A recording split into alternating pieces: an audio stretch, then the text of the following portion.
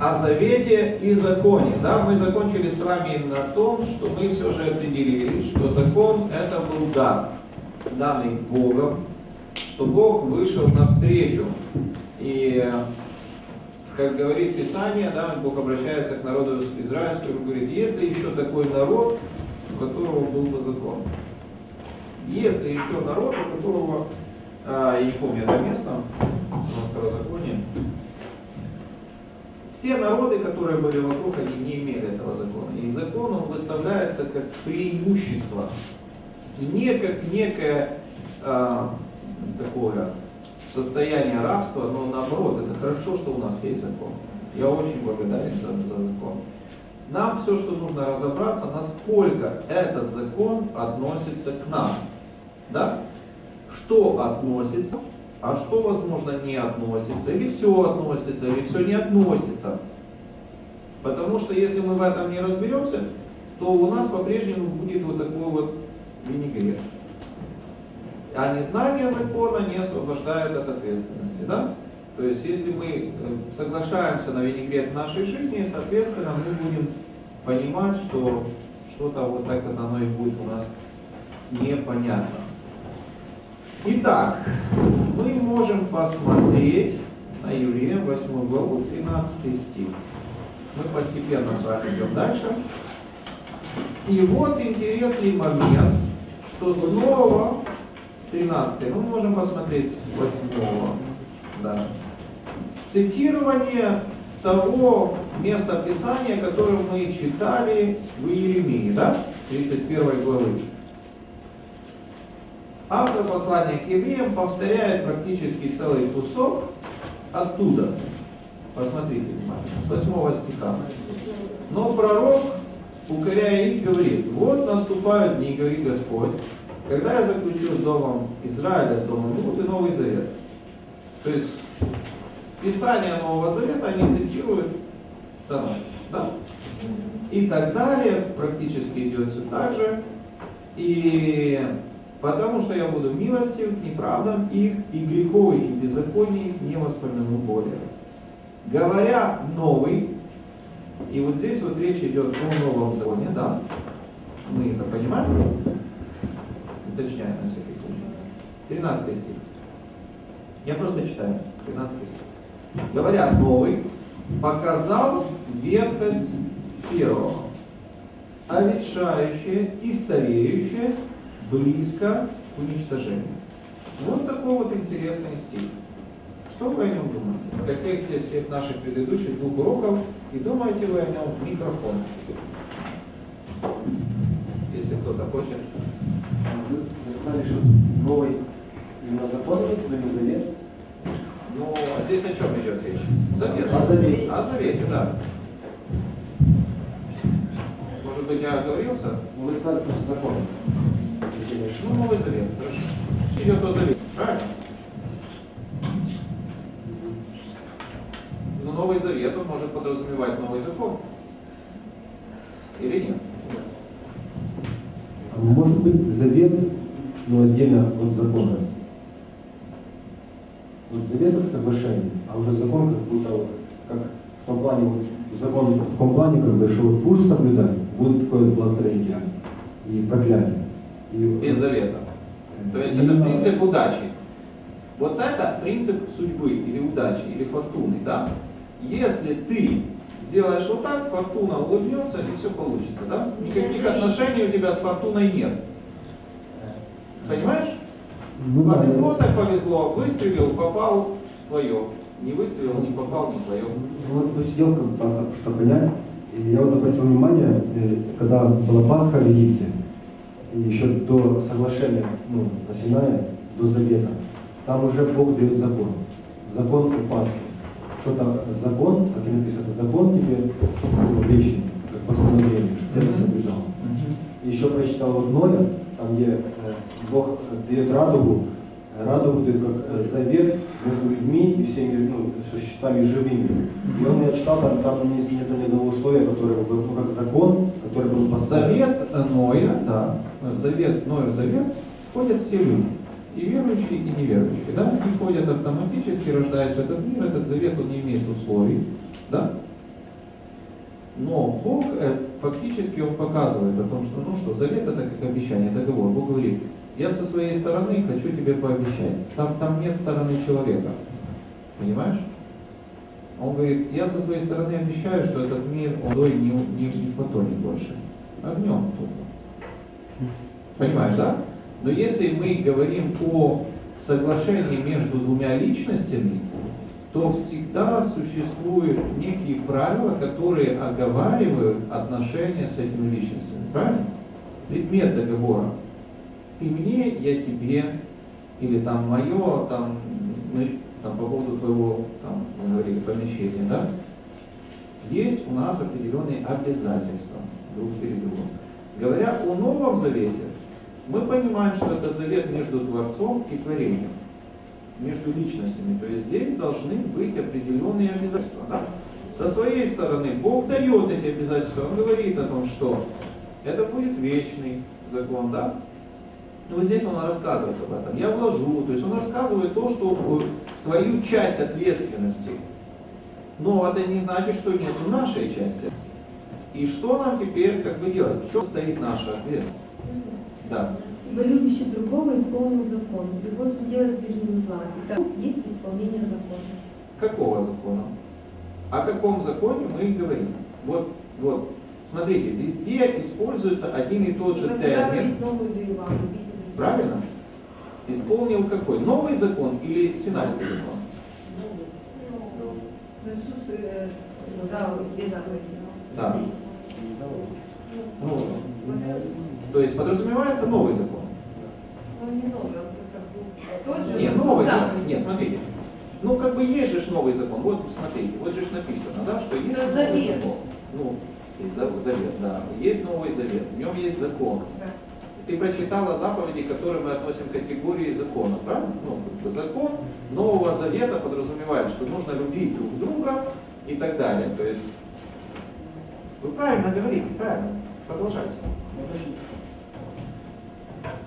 Еще вот тоже вот здесь, ну, как бы тут обратим внимание, э, исход, там, 20 глава, и тут как бы идет, э, тут написано, изрек Бог все слова сии говоря.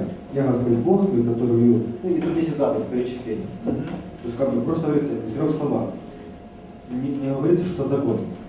И как бы заканчивается вот эта глава, и 21 стиха, и тут уже как бы написано, и, э, тут такое и вот законы, которые ты объявишь им. То есть почему-то вот есть заповеди не названы законы, просто как слова, которые... Конечно могут- нет, потому что на самом деле это всего лишь как бы десятисловия, да, то есть говорят, что они были написаны на скрижале. Э, Фактически, как бы остальные заповеди все равно они имели свое значение. Потому что вы помните, мы говорили, что была книга закона. А в эту книгу закона было больше записано, чем 10 заповедей. И народ, когда клялся, он клялся не только на основании 10 заповедей, но на книге закона. Мы говорили об этом. Цари израильские должны были переписать книгу закона. Книгу. Помните, когда мы разбирали вопрос с устной Торы, какой был у нас тяжелый день? Ну Вот. Мы говорили о книге закона. То есть не просто там было 10 заповедей, там было больше. Но они, можно так сказать, концентрированно выражают э, суть. Итак, хорошо. Говоря новый, показал ветхость первого, а ветшающее и стареющее близко к уничтожению. Уничтожен Синайский договор или нет? Нет.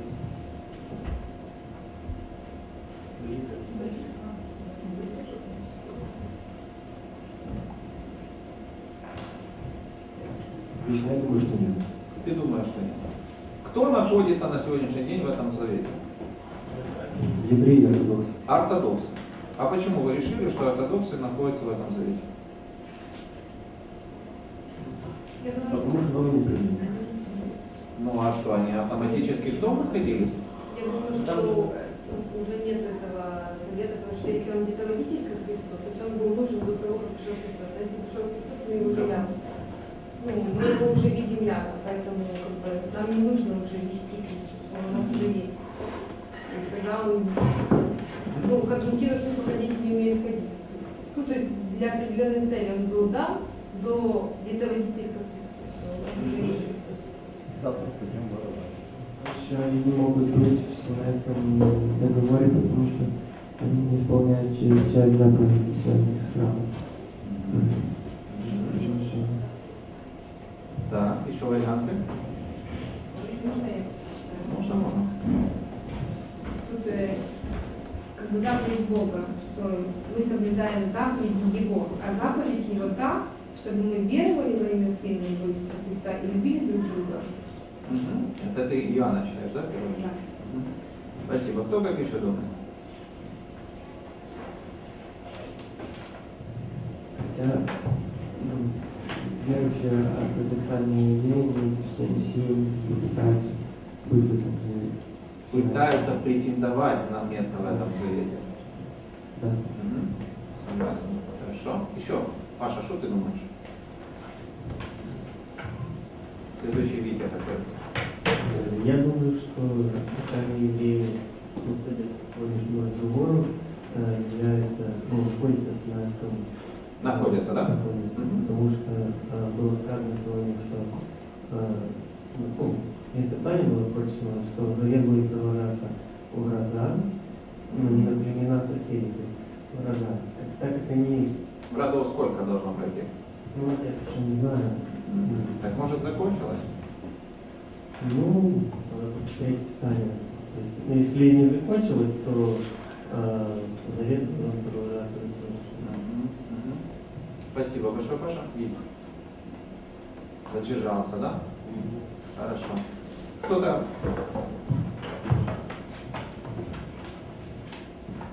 Можно сейчас скажу? Когда можно что эти они... Так, хорошо.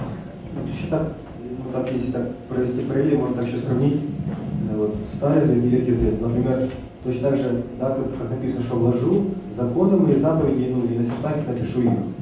То есть точно так же, вот я сейчас что-то вспомнил, когда я был, например, неверующим, ну, как я был верующим, да, верил в Иисуса Христа, я пришел в церковь, и как бы, ну, можно сказать, что даже частенько ходил. Я там крестился, я это как бы все делал, там, ходил на покаяние, там, читал там, вот это все вещи. Но это, это все было просто, как бы, написано, как буква закона. Потому что как бы все делают, я делаю, и знаю, что есть Бог, но я просто, просто это делал как бы внешне такая, как бы. Но внутри, да, вот, как бы, вот, не было, вот, как, как сейчас. То есть вот именно вот это ну, внутреннее состояние. Хорошо, спасибо большое. Давайте мы посмотрим дальше по контексту. Значит, 13 стих говорит, показал стоящую близко к уничтожению. Да? Откроем 9 главу. Вы помните, да, что писался текст подряд? И поэтому логически продолжение идет. И первый завет, какой завет? Синайский, имел постановление о богослужении. И святилище какое? Земное. Ибо устроена была скиния первая, в которой был светильник и трапеза, и предложение хлебов, и которая называется святое. За второй же завесу была скиния, называемая Святой Святых, имевшая золотую кадильницу обложенный со всех сторон золотом ковчег завета, где были золотой сосуд с манной жезл Ааронов, расцветший и скрижали завета. Да? То есть там лежал, можно так сказать, документ. Что такое были скрижали завета? Фактически это был как документ да, того, что э, ну, этот народ, он находился в взаимоотношениях э, с Богом. Есть, да? А над ним херувимы славы, осеняющие чистилище, о чем не нужно теперь говорить подробно. Почему не нужно говорить об этом подробно? Послание к христианской вере, да? При таком устройстве в первую скинию всегда входят священники совершать богослужение. А во вторую однажды год один только первосвященник, не без крови, которую приносит за себя и за грехи неведения народа. Кстати, видите, какие грехи покрывал первосвященник, да? За неведение народа. Сим Дух Святой показывает, что еще не открыт путь во святилище, доколе стоит прежняя скиния. Какое святилище? Небесное, да? Но пока стоит старая скиния, новое, оно еще не открыто, да? Она есть образ настоящего времени, которое приносятся дары и жертвы, не могущие сделать в совести совершенным приносящего, и которая с явствами и питьями, и различными омовениями, обрядами, относящимися до плоти, то есть с обрядами очищения, и так далее и тому подобное, установлены были только до времени исправления. То есть мы видим, что вся эта история, она имела определенное ограничение во времени. Да? Что должен был прийти какой-то момент, когда действие Синайского договора, оно было, должно быть остановлено до времени исправления. Но Христос, первосвященник будущий благ, придя с большую совершеннейшую скинию, не рукотворную, то есть не такого устроения, и не с кровью козлов и тельцов, но со своей кровью однажды вошел во святилище и приобрел вечное искупление. Ибо если кровь тельцов и козлов и пепел телицы через окропление освещает оскверненных, дабы чисто было тело, то тем более кровь Христа, который Духом Святым принес себя непорочного Богу, очистит совесть нашу от мертвых дел для служения Богу живому и истинному. И потому Он есть ходатай Нового Завета, дабы вследствие смерти Его, бывший для искупления от преступлений, сделанных в Первом Завете, ага, призванные к вечному наследию, наследию получили обетование. Обетованное, да. Ибо где завещание, там необходимо, чтобы последовала смерть завещателя. Потому что завещание действительно после умерших. Оно не имеет силы, когда завещатель жил. Посему и первый завет был утвержден не без крови. Ибо Моисей, произнося все заповеди по закону перед всем народом, взял кровь тельцов козлов с водою, шерстью червленую, и окропил как саму книгу. Видите, да? Не просто 10 заповедей, книгу. Так и весь народ, говоря, это кровь завета, который заповедовал на вам Бог. Также кропил кровью и скинию, и все сосуды богослужебные. Да и все по закону, почти, да и все почти по закону очищается кровью. Без пролития крови не бывает прощения. Итак, образы небесного должны были очищаться с сими, самой же небесной лучшими сих жертвами. Ибо Христос вошел не в рукотворящее, рукотворенное святилище по образу истинного устроен, но в самое небо, чтобы предстать ныне за нас пред лице Божие. И не для того, чтобы многократно приносить себя, как первосвященник входит во святилище каждогодно чужой кровью. Иначе надлежало бы ему многократно страдать от начала мира. Он же однажды, к концу веков, явился для уничтожения греха, жертвой своей. И как человеком положено однажды умереть, а потом суд, так и Христос, однажды принеся себя в жертву, чтобы поднять грехи многих, во второй раз явится не для очищения греха, а для ожидающих его вам спасения. Вот такое вот интересное место, да? То есть мы видим, что для того, чтобы находиться в Синайском завете, нам нужно было бы его заключить. Для того, чтобы его заключить, нужно, чтобы были соблюдены определенные условия. Да? И мы знаем, что с отсутствием храма соблюдение Синайского завета ну, невозможно. Как бы об этом ни говорила устная Тора, что бы об этом ни говорилось, оно невозможно. И даже те люди, которые говорят, что я живу по Синайскому закону, на самом деле они не живут по нему. Они не могут его исполнить никак. Им приходится придумывать какие-то пути, оговорки для того, чтобы хоть как-то что-то объяснить. Когда мы смотрим на правовые системы, это то, что относительно закона, да? мы можем видеть, что мы с вами можем оперировать или пользоваться а, определенными системами, даже не имея государства. Я говорю в данном случае о римском праве. Да? В основу нашей юридической всей структуры, вот на Украине, в основе стоит римское право. И когда вы пойдете учиться на юриста, вас будут учить римскому праву. Что это такое? Это определенная система, ну это своими словами, определенная система, которая рассказывает нам о законе, да, о праве. Вот есть кодекс. В этом кодексе прописано, если человек украл, то в зависимости от степени да, определяется судом, человек получает то или иное наказание. Это римское право. В Америке, например, Право другое, не римское. Там есть, э, насколько я знаю, есть такое, такое понятие, как прецедент.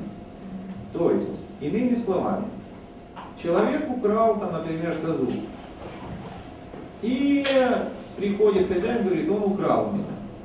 Тот нанимает адвоката и говорит, когда-то давным-давно дело такое-то, такое-то, был такой случай уже, козу воровали. И на основании этого случая человека оправдали. Вы понимаете, да? То есть американские адвокаты, у них в голове целая куча историй. У них нет как такового кодекса, понимаете, да? Разницу видите, да? Но они апеллируют там к каким-то историям, которые уже имели место в судебной практике ранее. Опираются на них, вот вы, возможно, в фильмах видели, да, что в соответствии там, дела Флинта такого-то числа в таком-то суде было принято решение такое-то. И они рассматривают, почему было принято так. Если было принято тогда, почему не принять его еще раз? Понимаете, да? Другой подход. Смотрите, этот закон или право, оно распространялось в Риме достаточно давно. Да, то есть это понятие, которое идет, э, э, которое очень давнее. При всем том, мы пользуемся этой, э, э, этими подходами. Да? Нет государства, но мы оставили за собой какие-то вещи. Синайский завет, он закончил свою функциональную деятельность. Но мы в новых принципах Нового Завета руководствуемся определенными теми же принципами, которые были даны тогда. Уловите разницу. Понимаете, да? Принципами. У нас по-прежнему есть священник, да? У нас есть люди, которые призваны священно действовать перед Господом. Это мы с вами. Да? Мы призваны поклоняться Богу. У нас есть место поклонения. На всяком месте написано, да? Поклоняющиеся должны поклоняться в духе истины, да? Бог есть дух, поклоняющиеся должны поклоняться в духе истины. Нам не обязательно идти на поклонение в Иерусалим. Вы помните этот разговор с самарянкой? Вопрос шел вокруг места поклонения, потому что э, самаряне ходили, если не ошибаюсь, в Дамаск. Организм. М? Ради организма. Да. Поэтому они говорили, что как бы, вот нас учила, она говорит, нас вот туда ли ходить поклоняться, сюда ли ходить, он говорит, вообще-то, вообще-то, я вам скажу, поклоняться нужно будет в духе истины. Таких поклонников Бог будет искать. Он ищет таких поклонников. У нас есть те же вопросы, связанные с чистотой и нечистотой, да? Но в общем, если мы говорим о заповедях, то мы понимаем, что когда к подошли и спросили, какие заповеди самые важные, самые ключевые, он их определил достаточно простые принципы. Понимаете, да? А как расшифровывать эти при- принципы, мы можем посмотреть, как это было в предыдущем завете, да? Можем посмотреть, мы понимаем, что Бог не меняется. Можем посмотреть на принципы. Но при всем том, мы находимся в другом завете. Мы можем сказать, было такое великое государство, как Советский Союз. Мощное, все боялись его. В Советском Союзе был кодекс законов, который все должны были, право было, да, уголовное, административное, там, хозяйственное и так далее, морское. Сейчас страны Советский Союз нет. Но это не значит, что мы можем убивать друг друга. Правильно? Структура осталась практически та же. Взаимодействие между людьми осталось тоже. Но это называется закон Украины. Понимаете, да? И мы можем говорить, в соответствии с законом СССР сейчас, именем закона СССР, какого, какой страны? она перестала существовать как страна. Мы понимаем, что за всякой властью стоит сила. Да? Потому что сила это обязательный атрибут власти. Власть без силы это не власть. И мы понимаем, что если государства как такового не существует, не существует и власти, не существует и силы. Есть контакт, да? Находясь сейчас, будучи гражданами Украины, мы подчиняемся законам Украины. Хотя эти законы на 80% могут соответствовать законам Советского Союза. Находясь во взаимоотношениях Нового Завета, а мы только этот завет заключили с Господом, только этот завет мы заключили. Понимаете, да? Потому что если бы мы заключили какие-то другие заветы, нам, у нас были бы обязательства по этим заветам. Находясь во взаимоотношениях нов, новых, Нового Завета, у нас есть по-прежнему те же, а та же ответственность перед Господом. Он по-прежнему свят, да? Он по-прежнему ненавидит грех. Он по-прежнему хочет, чтобы мы общались вместе с Ним. Сложили это все, да? И сам по себе закон это не нечто страшное, это всего лишь то, что открывает нам Бог. Вопрос есть? А вот э, получается, есть ну, люди, допустим, неверующие, они тоже находятся в определенном завете, да? Каждый человек, когда рождается, он несет ответственность за свои поступки, за грех. То есть это можно назвать как завет с Адамом, завет с... Это, ну, как бы не совсем-то завет. Завет заключает, есть ответственность перед Богом. Ладно же, надо об этом узнать. Есть, есть ну, другая тема, закон совести даже, да? Допустим. Как будет, что будет с теми людьми, которые никогда не слышали никаких заветов? Ни о Христе, ни о чем. Просто жили где-то там, допустим. Есть совесть, которая оправдывает их поступки или осуждает. Вот так. Там же тоже идет ответственность за поступки. Ответственность, но надо опереться на что? Обвинение должно быть, смотри, как Павел говорит, если бы я не знал закона, то я бы не знал греха. Да? То есть, когда пришел в мою жизнь закон, когда я узнал заповеди Божьи, не греши, там, не прелюбодействуй, я понял тогда, что это грех. Без закона, если ты ребенку скажешь, там, не скажешь о том, что не делай вот этого, для него значит нет закона, он может это делать, ты не, ты не вправе его наказать. Это просто размышление, как иногда человек, не зная, э, что это нельзя делать, делая, потом получает последствия. Безусловно, потому что есть определенные законы сеяния и жатвы. Человек, который разрушает свое физическое тело, он таки его разрушит, и будет болеть и умрет. Понимаешь? Ну что ты посеял, и ты ж не удивляйся. То есть незнание закона. Есть Божьи принципы. Если Бог, Бог сказал о том, что да, ты можешь не знать, что это закон гравитации, но если выйдешь с балкона, то ты упадешь. Ты можешь название не знать этого. Но принцип ты можешь понимать определенный, понимаешь? Если ты понимаешь, что если ты воруешь, то, скорее всего, тебе палка где-то там по хребту дадут когда-нибудь. Это принцип. Ты можешь не знать, как какая-то статья в Уголовном кодексе, но принцип ты уже понимаешь, что так делать нельзя, поэтому ты и прячешься, понимаешь? Э, Ответственность не снимается. Хорошо, двигаемся дальше, да? Разобрались немножко или, или так себе еще? Не, Ну, понятно, в принципе. В принципе, понятно. Оказалось, что не все так страшно. Вы просто не могли как бы сейчас сказать, объединить закон. Объединили, да-да. Синайский закон, он не имеет власти над вами. Аллилуйя! Он не имеет, потому что, чтобы вы понимали, не частично он над вами властен. Не частично. Вы находитесь в отношениях Нового Завета. В этом Завете есть, есть благодать в том, что доступ к Богу он стал проще.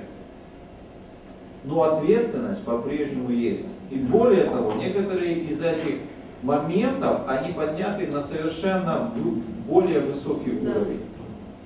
Когда Ишуа говорил о том, что э, сказано древним там, да, не прелюбодействуй, А я вам говорю, не думай даже об этом. То есть уровень, он поднимается. Возлюби Бога, возлюби ближнего, в этом весь закон и кроки. Что он сделал? Он взял и объединил все в простой принцип. И если ты по-настоящему начнешь исследовать о том, как это сделать, ты будешь учиться на основании предыдущих законов. Потому что принцип остался тот же. Новый Завет, он учит нас принципам хождения перед Богом. Он учит нас, как решать те или иные вопросы. Смотрите, в чем это важно понимать. Мы иногда хотим четких вопросов и ответов. Например, можно смотреть телевизор или нельзя? А ну дайте мне ответ. Можно там пользоваться ножом или нельзя? А все зависит от обстоятельств. Да? Как Писание Нового Завета говорит, все мне позволительно, но не все полезно. Все мне позволительно, но ничто не должно обладать мною. Есть принцип. Есть принцип. И под этот принцип мы можем подвести очень много текущих вопросов, которые возникают у нас в течение жизни. Принципы это универсальные, ну, можно так сказать, универсальное явление, которое может пройти через века. Потому что законы, они будут меняться в зависимости от определенных обстоятельств. От того, какое общество, что принято, что не принято. Вы помните, да, в средние века, например, верхом красоты там считалось, например, вот это. Ходить с, там, с жабо, да?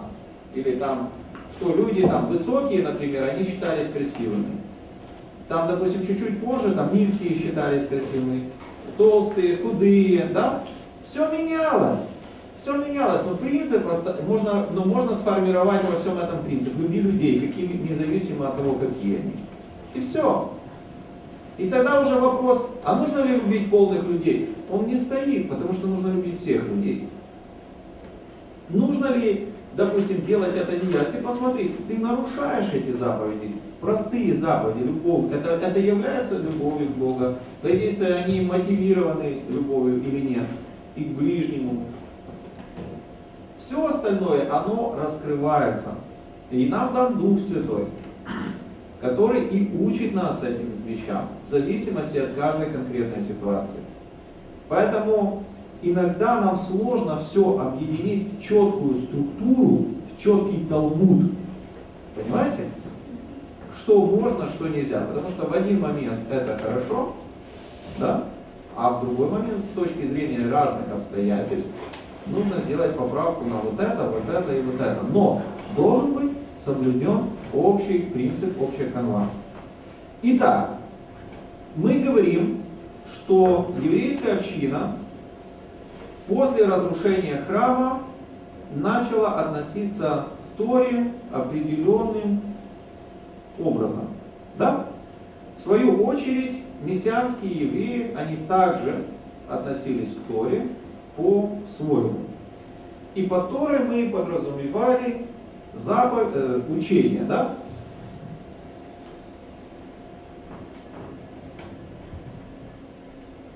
И Тора, как часть Тора, это закон. Мы выделили три основных понятия, с которыми мы попробуем с вами как бы по чуть-чуть разобраться. Если мы посмотрим на Писание Танаха, то мы видим Бога, который дает Слово. И Тора для нас, или Тора, учение, понимается в концепции завета. И мы понимаем, что как руководство для практического применения Торы в повседневной жизни существует такое понятие, как Галаха. Говорили, да? Галаха. То есть, например, соблюдайте шаббат. А как его соблюдать? Возможно, об этом нас научили там. Приходите на собрание культурно одетыми. А как именно подразумевается это вот культурно, что это значит культурно одетым, потому что у каждого свое понятие мы можем научиться в кон конкретной галахе. Да?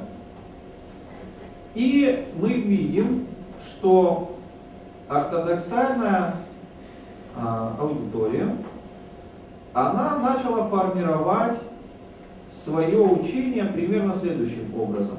В первую очередь они ставили Бога. Следующим идет Тора, которая приравнивалась традиции.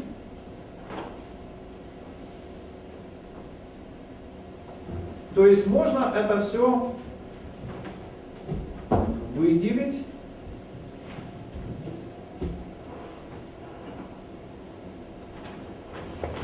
может быть примерным таким порядком. Есть Бог, есть традиция, есть Тора. Да?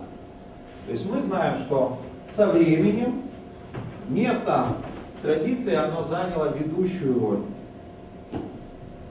И именно из-за именно традицией начали проверять вопросы, связанные с Торой.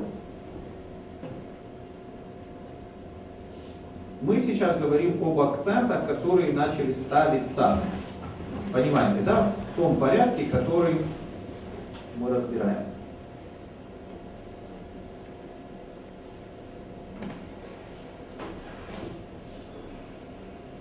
В Новом Завете мы видим, что устный закон отменяется как таковой. Не вообще, а именно как закон. То есть традиция, она обладает определенной ценностью, но она уже не обладает властью.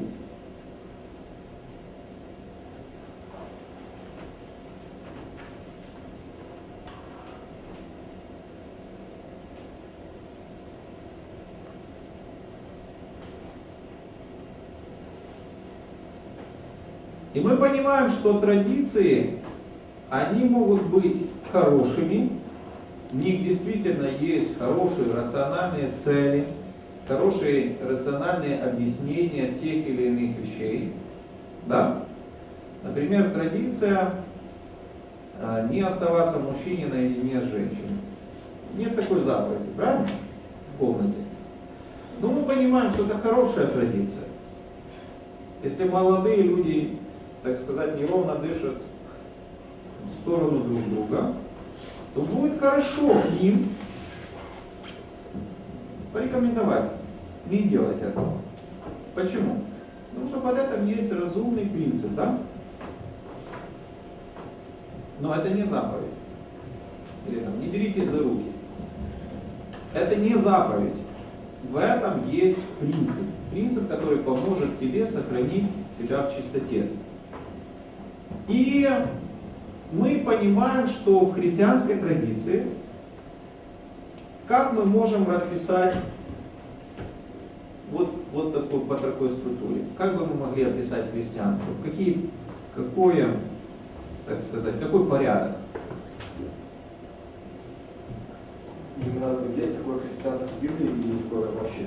Даже современная христианство. Мы говорили, да, помните, определили среднего христианина современного нашего. Как бы вы писали да? Тоже Бог, Писание. Если мы говорим здесь о Боге с точки зрения ортодоксальной мысли, да, то это Элохим, один Бог. Элохим. Если мы говорим с точки зрения христианского мышления, то это Отец, Сын и Дух Святой. Да? Троица. Отец, Сын, Святой Дух. Что идет дальше? На самом деле идет традиция. Да. Допустим, если мы говорим Да. о каких-то ортодоксальных христианских церквях, православие, да, то есть там может идти традиция, Да. правильно? Да. А, а потом идет Писание. Допустим, мы можем говорить о некоторых пятидесятнических церквях, и там может идти традиция. Да? Ты должен там одеть косынку, ты должен встать на колени, ты должен руки там за спину нет. Это слово говори, это не говори. Туда ходи, сюда не ходи, снег башка упадет, совсем мертвый будешь. А потом уже идет Писание. Да? То есть это традиция, веками выросшая, выращенная какой-то субкультуре, она имеет значение подчас больше, чем конкретно, собственно говоря, само Писание. То есть мы можем увидеть, что иногда такое понятие, как традиция, и э, ну, Тора, давайте возьмем Тору как учение, да, ну, Тора. Оно иногда может быть, в зависимости от того, о какой именно субкультуре мы говорим, оно может меняться.